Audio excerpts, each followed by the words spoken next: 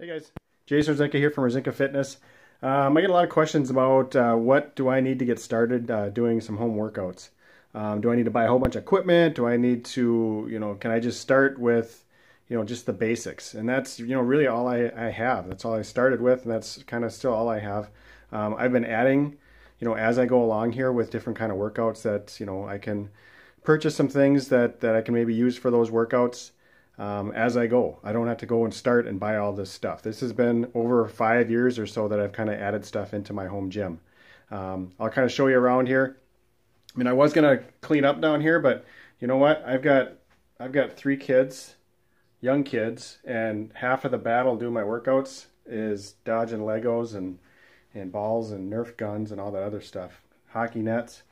Um, so I'm not gonna I'm not gonna sugarcoat anything here. This is this is the way it is, and this is you know I share this room with my kids, and and that's the way it is. Um, I'm gonna flip this around here and kind of show you guys, you guys from afar here. Um, you kind of see our TV that we uh, we do our home workouts here with, and then we just kind of have our our equipment here. Uh, we've got an exercise fitness ball, stability ball. Uh, I've got some got a few medicine balls here that I added. Um, that are, those are nice for doing some some ball push-ups or, or, you know when I first started I was using soccer balls and a football and not the not the best way to start but it was doable. Um, these work much better. Um, I I upgraded to the the Bowflex 1090s uh, these are the Select Tech weights and I've been using these. I love them um, but you know that was an investment and it's it's something that I use almost every day so it's worth it to me. Um, foam roller I love that too um, added some weights. These weights are more my wife's weights. She uses these. And um, we just bought these 20s because she wanted to upgrade her weights to heavier weights, which is awesome. Um, I've got a training mask up here too. I kind of added that. Um, that's pretty intense, pretty crazy. You definitely don't need to start with that. Um, I also, here's the dog. She's usually sitting there during my workouts. She likes to watch.